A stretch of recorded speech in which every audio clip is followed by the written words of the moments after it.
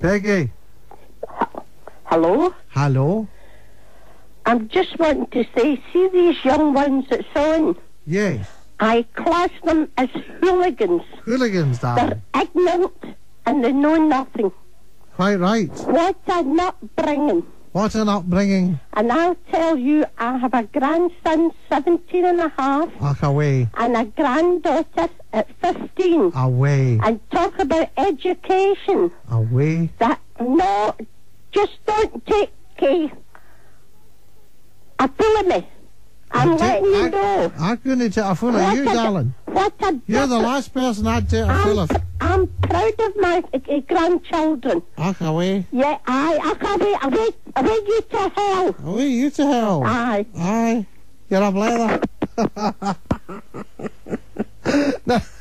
Andy. Peggy.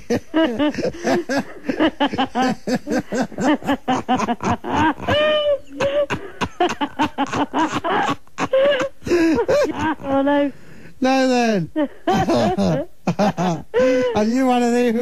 Are